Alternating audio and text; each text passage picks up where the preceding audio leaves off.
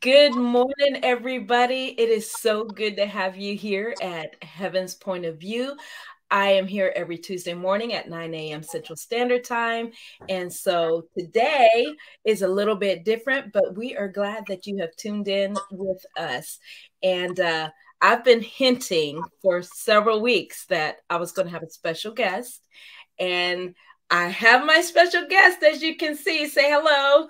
Hi, everyone. so today we have Mary Ann Peluso McGahan. Am I pronounced that right? It's perfect. Good. And uh, so we have her with us today. But before we let her, um, you know, jump into her testimony, I want to remind you guys go out and check out our website, hopecreationsbybj.com and check out all the um, products that we have. We are adding new products for the Christmas season. So you want to do all your Christmas shopping, get it done ahead of time. You can have it. You don't have to worry about it. And you can just sit down and eat, drink hot cocoa and eat cookies, you know, for the rest of the season. and that, that's my idea of having a great Christmas. So go out and check out um, hopecreationsbybj.com. Um, our retreat for next year is October 5th through 7th.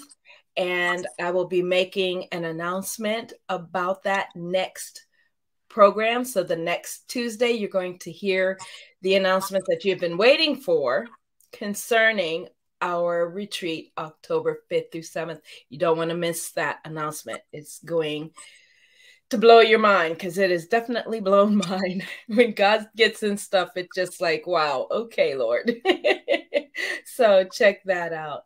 If you'd like to get in contact with us, just reach us at uh, P.O. Box 1833 in Slidell, Louisiana, and we will get right back to you. So, we are going to get right into our program today. As I said, we have Mary Ann Peluso McGahan, and they are um, McGahan is your husband's last name, so it's McGahan Peluso Ministries, right? Yes. And I have that uh, link to their website linked below. So just look at that and type it out, get it now, so that if it disappears off the screen, you already have it. Go and check their website out. Um, and if you just look up Mary Ann Peluso on Google, she's going to pop up. And I know many of you have probably seen her on some of the classic crusade videos on SBN. So let's get into it. Miss Mary Ann, thank you so much for joining me today. I'm so excited to have you on my program. BJ, it is my honor. I've been excited ever since you asked me. And uh, yeah, I feel like a classic card, you know, those classic crusades. no. oh, Lord, but that's okay. You know, I, I, I cherish and, um, and kind of savor, you know, when you have a good meal and you can still taste in your mouth. I savor and can still taste those times with Brother Swaggart and the classic crusades back in the 80s and 90s I still cherish those memories and and uh, you're part of it. Uh, I feel like we're in a like a, a heavenly alumni. Uh, and we've talked about getting together and doing something. We've got to we've got to get all of us, past, present uh, uh, uh, singers together and do something uh, Gaither style, just sit around and talking and, and and ministry. I think that would minister to us and the people. But I just want to say thank you for the honor of being here. I never take for granted an open door to uh, give witness and testimony and lift up and give center stage to Jesus. And Amen. I just want to encourage you, BJ, and what you're doing here. Do not despise small beginnings, says the Lord for great is your reward, and you will be rewarded not only in heaven, but on earth. God is going to give you favor with man. You have favor with God. The word says that Jesus had favor with God and man. So I want to just say that, get that out there to you. Not because I'm just on the program, but I believe that your diligence and your faithfulness uh, is going to rise. Uh, you think God has used you in the past or even now where you are. Mm-hmm. Girl, you ain't seen nothing yet. Wow. And it kind of segues into my testimony. A lot of people have seen me singing and and um, worshiping the Lord. Mm-hmm. Uh, a lot of times the tears flow, like all of us. You've been there, and other singers, psalmists, and those tears flow out of gratitude and a uh, a keen sense of uh, not a beaten down, oh poor poor worm of a sinner I am, but really I deserve to be burning right now. I was mm-hmm. raised in a Christian home, uh, wonderful uh, AG Church, Assembly of God, not typical for being a full blooded Italian. My grandparents left the Catholic Church, oh, wow. got born again in spirit filled, got disowned from the family because they were Roman Catholic, but eventually the family came and the family eventually the family came in and uh, I was raised in a wonderful traditional uh, Pentecostal home, and I'm so glad because it took that power in my mom and dad's life to instill in me the knowledge of that. The unfortunate thing was, I thought I knew God, being raised in it. And I got out in the world. I loved to sing, and the peer pressure back when I was growing up um, was uh, whatever the magazines, you know, the back then, BJ. I mean, there weren't ethnic Barbie dolls. I mean, the Barbie dolls that I had played with had long, long, straight hair and oh, straight yeah. hips, girl. I mean, yes. here I've got black curly hair. Thank God for you know uh, blow dryers, but. I mean, had this curly, curly Italian kinky hair. I uh, was raised on the ocean in San Diego. Wow. Everybody had blonde hair and tan, and, and I did not fit the mm. mold. And mm-hmm. that put me under pressure. And I simultaneously, I, I had this great desire to sing. And when I sang at school, uh, I could fit in and people liked me. And that took me down a dark road. I told my mom at 16, I don't want to go to church anymore. You can't make me. There was a youth pastor that had made an inappropriate uh, advance toward me. And mm that put a seed in my heart that they were all hypocrites. But I look back now, that's an excuse. So if you're sitting there today and you're harboring any unforgiveness or you're thinking, mm-hmm. you know, Christians are hypocrites or that person, don't let bitterness or unforgiveness stop you. It did me, and it was an excuse for me to get out in the world. And by the time I was 28, my uh, 25, my father was my best friend, and we were raised poor, seven kids. He had a job that uh, brought him money one time a year, and that was pyrotechnics. He was a fireworks display. Uh, mm-hmm. It was mm-hmm. handed down through tradition. I knew he was going out of town that weekend. I had signed with a group. Uh, we were we were our first project with Warner Brothers. I've gradually made uh, the move up, going from San Diego to Los Angeles. Got introduced to people, and I was obsessed with being a, a famous rock and roll singer, blues, blues rock. But my obsession was to be famous. I was so beat down from the, uh, I was tall and skinny and gawky and homely growing up. I mean, I just have to admit it. So I was trying to get the applause of the world. And if people would just love me, and mm-hmm. I couldn't be pretty, so I could sing. So I was obsessed if I could just be a famous singer. And that in 1980, uh, my father was going away one weekend. I had finally met some people that could take me there. Uh, with one band, I was signed. We were signed with Warner Brothers. With another band, I had met the guy was the brother of uh, the Doobie Brothers, with the guy in the Doobie Brothers, and uh, so meeting these people, I was getting closer to this. If I could just have the love of the world, then this ache and this hurt and this need to be loved would go away. I didn't realize it was Jesus that I was running from and that I needed. Yes. And my mom, my mom, I couldn't stand my mom. She was wonderful, loving, not a controlling, loud Pentecostal, but she was so close to the Lord. When I got in her presence, I was convicted. But my dad was my life. He was my world. And he gave his life to the Lord, but not as radical as my mom. So one night, um, as I was in Los Angeles, I got a call and the guy said, You know, we've been watching you. Can you get up here? We need to talk to you. I drove up. It was two hours from San Diego. I was living in Los Angeles, but my father was going to be going away for the weekend, explo- doing something explosive like special effects somewhere. And I, I drove from LA to be with him that weekend. It was the 25th of May, 1980. And I said my goodbye. He got up early the next morning. I stayed at my mom and dad's house, and I just loved that man so much. My mm-hmm. dream was to just provide for him. He worked so hard and he was starting to age. And so I w- drove up to Los Angeles. And uh, I looked at the clock when we were negotiating. It was 2:25 in the morning. I just happened to look at this clock. And when I got up there, these guys that I had been looking up to and partying with, by then I had a probably a $5,000 a day cocaine habit. Wow. Uh, our wow. producers and our promoters, they made sure that we stay on this wheel of concerts. And, and so they gave us free, everything was free cocaine. And then at night, BJ, we needed to, if we needed to sleep, they had doctors that gave us i was taking horse tranquilizers quaaludes wow. to relax. Wow. i smoked three packs of cigarettes a day. I was just this wild woman. When i got saved i threw my clothes in the trash can.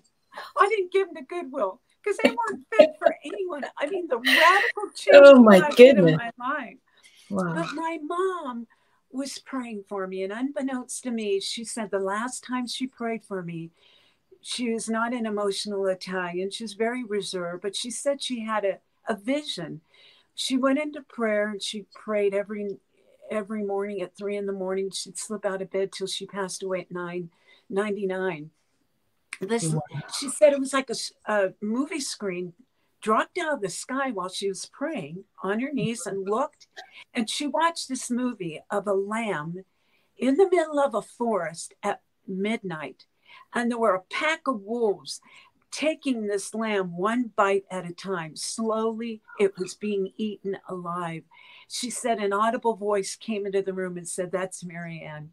Wow. She said, I pray, God, whatever it takes, bring her in. And she said later, Don't pray that unless you're willing to really. Mm-hmm. So, fast forward, I'm sitting and negotiating, and they said, We've been watching you.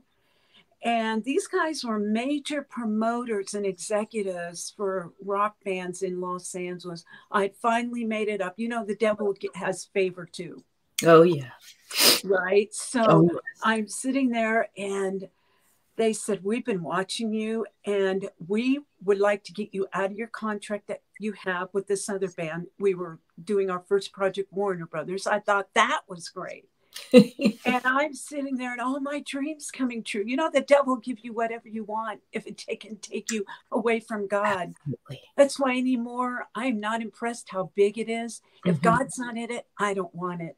So they said, We've been watching you and we really like what we see. We like what we hear. And every song I sang back then, I'm I mean, I've always had this gravelly, you know, Rod Stewart type, you know, if I sang a Donna Summer song back then, it was Donna, Sur, Donna Summer with a Rod Stewart, you know, gravelly. I couldn't get rid yeah. of that gravel, but they liked that. So they said, We've been watching you. We want you out of this contract. We've got our lawyers. You can start next week on the road opening for, with us. It was a band for the Doobie Brothers. Wow. And they quoted me a, a price. And I thought, This is it. I mean, this does not happen. I know people in, that have been in music for years that are working their way to top and then they fall back down, up and down. Mm-hmm. I thought, wow, I must be really good. Little did I realize it was the enemy keeping mm-hmm. me from God's destiny to take me to hell. Mm-hmm. So I woke up the next day. Well, I looked at the clock and it said 225. I got up the afternoon. I drove back to San Diego. I couldn't wait to tell my dad. I can't wait to tell him all, all my dreams come true, but it came true, but even more he can rest. I'm going to provide for him. We were so poor. He was an orphan with a sixth grade education, had seven kids. Thank God my mom had a new knew how to make pasta every, you know, pasta with this pasta with that. There are eight of us, so I totally understand. yes, it's like an economical beans with this or being, you know, the Hispanics or whatever. So I drove back to tell him I couldn't wait. Mm. This was a for sure thing. I drove up to my parents' home and all I saw the uh, the cars. It was Sunday afternoon, uh, a typical Italian tradition. And my parents kept a tradition, even though they were first generation. I'm second. Every Sunday, you had a big, everybody came over for spaghetti meatballs. That was just it. And so I drove up. It was Sunday. I saw my brothers and sisters' cars. I didn't think anything of it. But when I got out of my car, my brother Salvatore was sitting on the steps of my parents' home. And I have four Italian stallion, like Rocky type brothers. Yo, they don't show emotion. They're not huggy. Mm-hmm. I got to the step and he stood up and he held me and he said, Mary Ann, dad's dead. I walked into the house and I heard something in my mind. I could hear something, someone saying something like he got killed by a drunk driver. I walk in and I see my mom on the couch being consoled by all the women from the church. Mm. And out of her mouth comes this I'm in God's hands. I've never gone through a crisis, but mm. what God has brought good out of it had it never happened. Though he slay me, yet will I trust him. I walked in the corner of her house. I looked at the ceiling. I shook my fist at God. I said, I don't know what kind of God of love you are, but you took the most important thing in my life. And after that, the roadies came over. One of our roadies, word got out, came over in his gold Jaguar and said, took me away and said, Here, uh, have a drink. Time heals all wounds. Uh, someone else came over with a line of cocaine and said, Hey, you know, we're really sorry if this makes you feel good. And all day long, the counsel and the consolation and the consolation of the world was right before me. And that night, when the moon came out and the stars were bright and everyone went to sleep, my world stopped. I was in my parents' home. I was laying on the bed. Uh, the the shock wore off and I'm, I'm having a breakdown. I was kicking the room, twisting the covers. The most in my life, BJ, he was my life. He was my everything, my best friend. And when it hit me, I thought, you know what? Then I try to console myself with the contract in Hollywood and fame and fortune. And it, it didn't work. Any other time there was a pit, but this pit, David said, you brought me out of a horrible pit. And I laid there and in the middle of a breakdown, and I said, I have two alternatives uh, insane asylum, I'll end up in a mental institution, or uh, suicide. I had too much pride to think of being in an institution and people walking by and going, There's Mary Ann, she wigged out. So I thought, well, you know, our our drummer was the West Coast, no kidding, West Coast drug connection for all the rock bands. I mm-hmm. mean, he had heroin, he had cocaine. He brought up the runners from Colombia. I'd meet him, and next thing I'd hear they got killed. I mean, it was crazy. So I thought, you know, I've never done heroin. I knew that if I did, I would get hooked. I thought, well, I'll make a connection. I'll pump my veins full. Nothing mattered, BJ. Nothing mattered. You might be out there today saying, nothing matters anymore. Mm-hmm. Everywhere I turn, I keep bumping my head into failure. But I want to tell you today, don't give up. And I laid there and I thought, okay, I'll get up and go make my connection. Nothing matters. I was laying on the bed, and when I put my feet on the floor of that home, my parents' home, all of a sudden this Jesus walked through the wall. You know, he's still walking through walls. This presence came into the room like he walked through the wall. And mm. I didn't see him with my physical eyes, BJ, mm-hmm. but he was there and he stood before me. And he said, What does it profit a man if he gains the whole world and loses his soul? And what can you give in exchange? And I said, Jesus, I've heard about you all my life, but mm-hmm. you're way out there. I said, long story short, I said, you know, my life doesn't matter to me anymore. And uh, BJ, this is my point I want to hit on. I'm so glad that I was raised in a time where the gospel, like what we hear at JSM, it's black and white. There is no fence. When you give your life to Jesus, you let go of the world. Uh, you've got to let go of everything. Uh, don't build a house and get halfway through. So I told God, leave me alone because the Holy Spirit would convict me. I'd, I'd be up from the cocaine. I'd take that Quaalude, that horse tranquilizer, and right when I get sleepy and my head would hit the pillow, mm-hmm. my eyes would pop wide open and the Holy Spirit would deal with me and yeah. say, I need you You're not doing, I have a call on your life. I love you. It was my mom's prayers. Thank God for praying mom. You know, my mom did the same for us. You know, she prayed us all through. And my mm-hmm. brothers had a similar situation to where they were about to sign a contract that would have destroyed their lives. And she prayed through, they got into an argument, and the guy said, Forget this. I, we don't want to deal with this, and kicked them all out the office. And all of them are now pastors. Wow. Thank so, you, Lord. Thank, God. you, God. That yes, for mama's prayers. And I tell you, I, I, I, so I having that's all like telepathy, you know, and I said, God, if you can, you can have my life. You can send me to Timbuktu. You can tell me to do whatever because my life don't matter, and so I don't care what people think anymore. You can, and I stretched out my, I laid back and stretched out my arms on the bed. And all of a sudden, BJ, it felt like a, this huge boulder was lifted off my back. Literally, I felt something leave my back. And it took me back. I was just pulling for straws. I had tried relationships, drugs, I tried everything. Wow. This was the last thing I, because I told God, I'm never going to give my life to you unless I go all the way. I couldn't, I'd be sitting around with these rock stars and they'd say, What do you think that the uh, meaning of life is and what is truth? And my lips were closed because I wasn't going to back it up with my life. So I thought I'd shut up. Wow. And so as I lay there and this load lifted, all of a sudden I went, oh, he's real. Jesus became mm-hmm. real to me. He was real. I spent the rest of the night weeping and crying all of the times that I pushed God away when those prayers of my mom would be broken out. I'd say, Go away, God, when I'm 60 or 70, you know, oh, oh that'd be like right now. Hello. Um, I said, go away, go away. And I spent the evening crying, thinking, and this is the bottom line I should have been burning in hell. That drunk driver that killed my dad going 100 miles an hour, it was 2.20 in the morning, as same 25. Same time I looked at the coroner's report.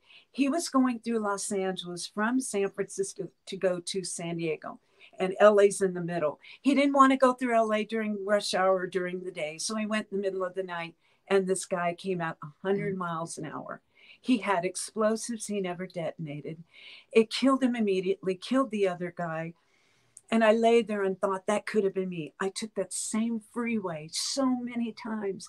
And then the gratitude, and I wept. I spent the rest of the, and I haven't stopped weeping since that I should be what I deserve. I don't deserve to be here. I don't deserve any glory, any fame, any applause, anything. I owe it all to Jesus. Mm-hmm. So this is it. The next morning I woke up. I told my mom, don't ever talk to me about Jesus. I don't want to hear it. 16 mm-hmm. years old. You can't make me go to church. She was in the kitchen, had her apron on, stirring the spaghetti sauce. And I came up. I didn't know her. I didn't like her. Didn't like to be around. I said, Ma. She turned around. I said, I gave my life to Jesus. She threw her hands in the air and she said, Then his death was not in vain. Don't you understand? Your father was ready to meet God. You wouldn't have been. And we spent the rest of the time. I mm-hmm. found out later that he was diagnosed with cancer. We didn't know it. She said, See, the Lord knew I couldn't take that. He was killed immediately. Uh, and I miraculously got out of a contract with the other group. And I tell you what, I, I got saved, sat in a Assembly of God church. I didn't do anything for a year. I just sat. Um, finally gave my testimony after a year. And the secret, I think, to any ministry is that first love. You know, everything comes out of seek ye first the kingdom of God and his righteousness, and everything is added. Absolutely. See, a lot of people think that they have to have some miraculous, you know, testimony to be used of God. And your mother was used of God probably more than the two of us put together oh. because oh. she prayed you through. And because of that, you have been able to reach who knows how many people with the gospel, both through song and through your testimony and through your ministry. And my mom prayed me and my brothers and sisters through. All eight of her children are ministers. And so, and wow. it's only because of the grace of God and her oh, prayers. Wow. Exactly. And so he was used probably more than we have put together because they chose to get down on their knees and to pray for their children and to Absolutely. pray them through. And Absolutely. that is such a powerful thing. And I know there's a lot of you all out there, you feel like, well, I'm up in age, there's nothing I can do. Pray. Because that prayer is what has Mary Ann doing what she's doing and have me doing what I'm doing. It's it's a miraculous, beautiful thing. So share how you went from, you know, singing rock and roll to singing the gospel. How did the Lord bring that into your life? Well, I was uh, go- attending an Assembly of God church. It was a large one that my mom went to. And on Thursday mornings, the, the WM groups, so, you know, the older ladies would gather.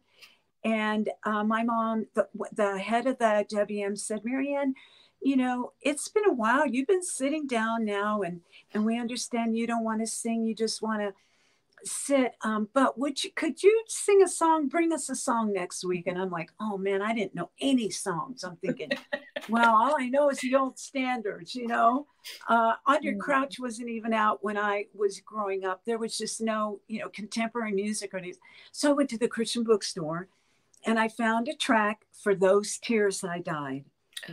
And one Thursday, I got my little tape recorder and I stood up there and I gave my testimony and sang. And I thought that was it. Well, the wife of the pastor of this large Assembly of God church in San Diego was in the meeting and she said to her husband, you know, Richard is saying, Richard, you need, we need to have Mary Ann sing. She's singing the WMs. So they contact the music director and I sang there. And, and, um, the people that went, then I began to sing, you know, on Sundays, joined the choir and there were uh, people from the full gospel businessmen meeting that attended the church. Then they asked me to sing at their meeting and then little by little the network grew. Mm-hmm. and um, and i began to travel. In 1983 i went full-time.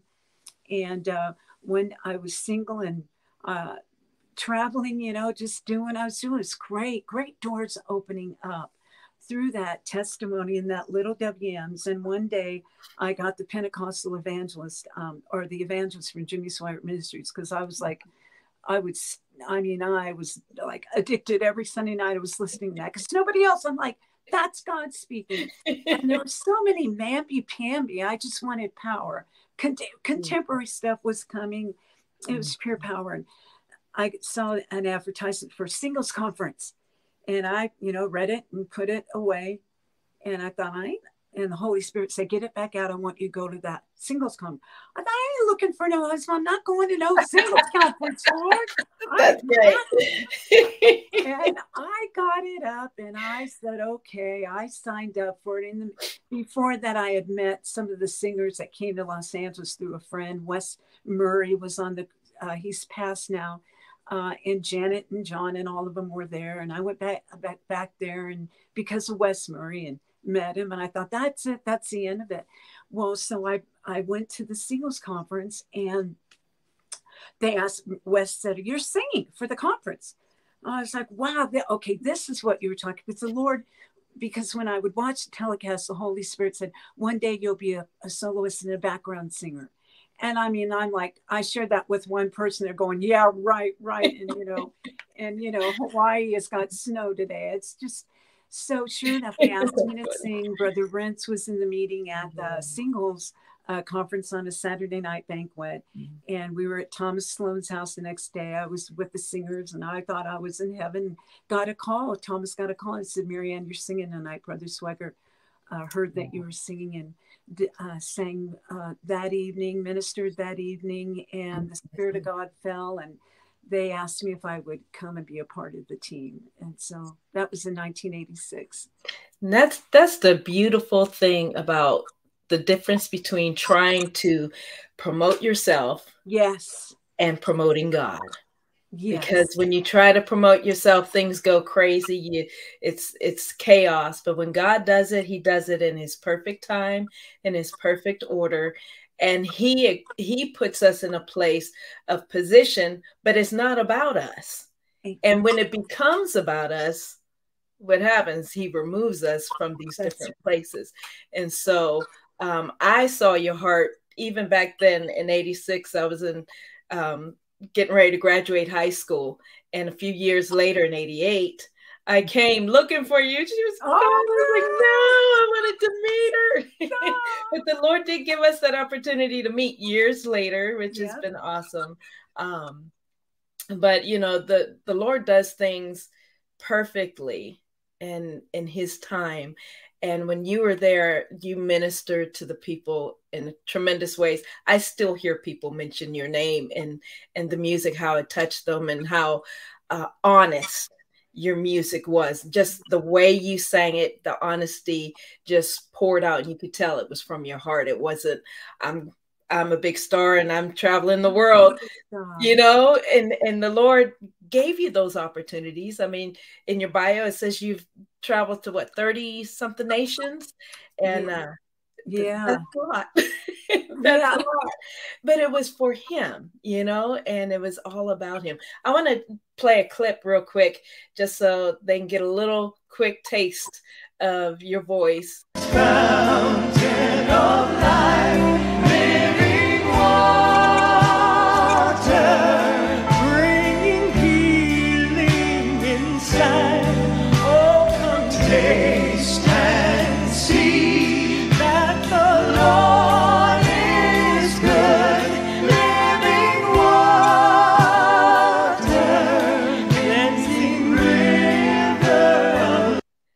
beautiful is that? oh. And here you are at Family Worship Center. Oh, it doesn't want to play on me. Okay. Well, we're gonna Aww. show it another time. yeah, but that is just beautiful, you know, and and how God used you during that time, and He hadn't stopped. Um, I know that you are still doing some traveling and, and ministry through television programs, podcasts, radio, a little bit of everything. Huh? Share a little bit on that. Well, it's it's ironic. The name of your the name of this program is Point View. Heaven's Point of View. Heaven's Point of View. I co-hosted um, up until recently. I hosted a, a television program called God's View. Uh, with four other ladies. So, you know, God wants his view getting out there. That's for Absolutely. sure. But yes, I've had the honor and um, uh, I pulled back for several years. I was caretaking my mom until she passed, and uh, recently have been uh, back out there. I'll be in Branson. Let me see this month, uh, uh, and so God is opening the doors. But I tell you, I've really been in a place of being content with, uh, like you said about your mom and my mom. Mm-hmm. For those watching, listening, listen, the most important parts of the body are the ones you can't see. Mm. I'm learning, and I learned this from Brother Wilkerson, that God gave me the extreme honor of getting close to. He said, Remember, Mary Ann, it's not what you're doing for Christ that matters, it's what you're becoming. So mm. I want to encourage everyone. So, what um, I what I'm doing now is uh, a lot of intercessory prayer. I'm heading up a prayer uh, a prayer network uh, through uh, a ministry called Battle Ready Ministries.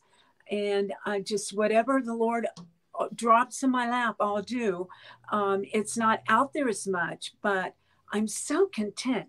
And I, I just want to share real quick with those listening. Um, you know, when Peter got out of the boat and walked on the water, and that says he got his eyes off of Jesus. And here's Jesus in the water above, on top of the water. And he picks Peter up out of the water. That was a miracle right there. But he puts him back in the boat. So they're back in the boat. And in the original where it says Jesus said to Peter, he rebuked him sternly, the word says. Mm-hmm. And he said, Oh, ye of little faith. Uh, you know, why did you? And I I said to the Lord, I said, Lord, that was pretty strong. In the original, it says you were stern with him. You were upset. You were angry mm. with him. I'll just say it like that. Yeah, yeah. I said, Lord, why would, you know, you're such a loving God. Why would that upset you so much? He said, because of this, he said, it's not, and this has been burned in me. He said, it's not how you start out that matters, it's how you finish. And I mean, all the scriptures of finishing well and those who overcome will enter heaven. I want to encourage everyone out there today, and even you, BJ, you know, Stay strong. If God's not look, you may have done great things 40 years ago, 20 years ago. God is looking at right now. Mm-hmm. Where are we? Are we pressing in? Are we uh, uh, uh, just being faithful wherever He puts right. us? Right, right. That's beautiful, and I mean it's so important. Um, I was at a excuse me a women's conference this last weekend, and one of the sessions was about not losing your taste for mm-hmm. ministry. And there was a woman there who mentioned how, you know, she had stepped back from ministry because it had hurt her so much. And so we have to finish well. Thank you yes. for that word. I really appreciate it.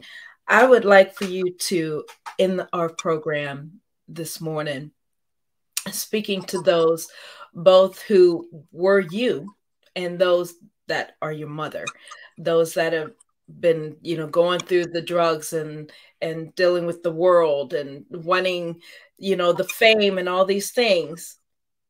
And then, you know, speak to those mothers who have been praying for those same children that they can be encouraged that prayer works.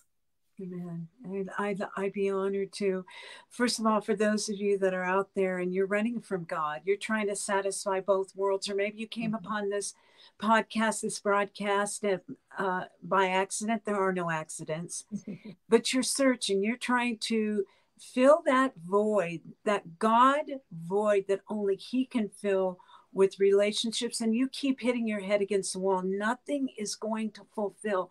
Nothing is going to make sense in your life until you fully yield your heart. And you might say, well, that's easy for you to say, Mary Ann. You don't know where I am. You don't know the tangle, the mess I'm in. I do. And I want to tell you, you open your heart and you just say, God doesn't need a lot. He doesn't need he just needs your heart. He needs your will. He mm-hmm. needs you to say, Jesus, okay, I give up. Take take this mess and bring a message out of it. And and you do that right now, wherever you are, just say, Jesus, I give up. I quit running. Mm-hmm. Come and fill that void yes. in my heart that was created only for you. Forgive me for trying to use something and someone else. Thank you. Uh, just a little seed, just a little bit. He's going to open that up for you and he's going to untangle. Someone's in a real mess. I don't know if it's a legal mess, an abusive uh, marriage, an abusive situation. You are in a mess that in the natural, Mm-hmm. cannot get untangled. I'm telling you, God is supernatural. You step towards Him, He's going to step towards you. He said, You come to me, you seek me, and you will find me. He's going to untangle that mess. And for those mothers, those siblings, those aunts, uncles, grandparents that are praying, don't give up. Don't, no matter what you see. My mom shook her fist one day at the devil and she quoted Acts 16 31. And this is what you do today where Paul said, Believe on the Lord Jesus Christ, and thou shalt be saved, and thy household. And she said, That's my promise. Now, there. So you believe that. Quote the word to the devil, Amen. and God will come through. Amen. Go ahead and close us out in prayer. That was um, beautiful. Father, we thank you, God. I thank you for this opportunity, Lord, today. I thank you for BJ. I thank you, God, for this audience. I thank you, God, for everyone watching right now. Yes. Lord, I ask for a manifestation of your presence and mm-hmm. power to come into those mm-hmm. listening, Lord, that would heal, that would deliver, that would provide, God. Father, in the name of Jesus, we thank you that you are a very present help in time of need. And mm. Lord, right now, you're meeting every need as we look to you, as we seek you first and your kingdom, your will Mm. All these other things will be added. I thank you, God, right now for the prodigals coming home. I thank you for the finances that are being released right now and the mm. healings of the bodies and the minds right now in Jesus' yes. name. Amen. Amen and amen. Thank you so much. I so appreciate you coming and sharing. I know that what you had to say is definitely going to minister to many, many people who listen. So thank you. Before I let you go, though, you have to tell us about that beautiful glass behind you. Oh, It's so gorgeous. And I've seen some of his your husband's videos of him creating some of these beautiful pieces. Yeah. And uh, tell us a few seconds. I know we're okay. running run out of time. Okay. Real quick, my husband that God, my mom prayed for a husband, and it was him, uh, and he happens to be a glass blower. Uh, what he does in glass blowing used to be when they first started out, they would break a few things learning. Not so much anymore, but they do trim goblets. Oh my goodness, I could show you uh, let me see, it's probably the, I got it. Anyway, they make gorgeous things. We have a gallery here. Beautiful. And um, so when they're glass, when they're making glass, sometimes they have accidents. But there was a time, sorry, when um, he was they would have these beautiful pieces that would fall to the ground and they would put in a bucket and then dump them one day his son came to him and said dad isn't there something we could do with all these broken pieces? And he said no son they that wouldn't be possible. Make a long story short they worked at it and they ended up perfecting what they call redento raffinados that means redeemed elegance. It's oh, symbolic how, of how god takes the broken pieces of our heart our lives and makes beautiful things out of them.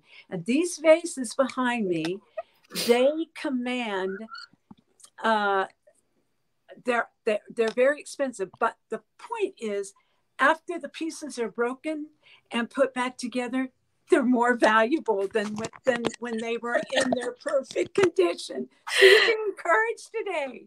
Oh my gosh, that is the most beautiful. I, I didn't know that part about the glass. That that brings tears to my eyes.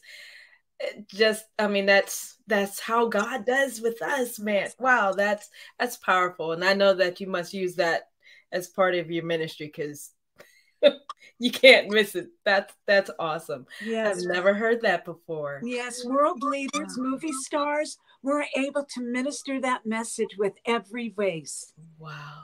We just had a famous singer get one. If I said her name, everyone would know it. and the Lord said, You keep that message center and I'll bless it.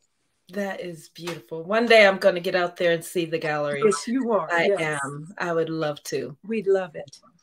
Well, thank you so much for being here. And thank you guys for joining us again. Um, every week, y'all are so faithful coming out and supporting by watching, and I appreciate it. Please share the program um, with your friends, family, in your groups, and let them hear this message. This is a powerful message that can, you might be the one that when you share this video, you can save somebody from entering hell it's just as plain as that. This may be their day when they re- listen to this program. So make sure you're sharing it. And don't forget, go out to their website. It's right there at the bottom of the screen www.mcgahanpelusoministries.com. You can take a peek at some of the glass that they have and and just get a little bit more about them and uh, search her on youtube she's got some beautiful music out there we love you i will see you next week tuesday 9 a.m central standard time. And until then be sure to tell somebody that jesus loves them. Okay? I love you guys. See y'all next week. Bye bye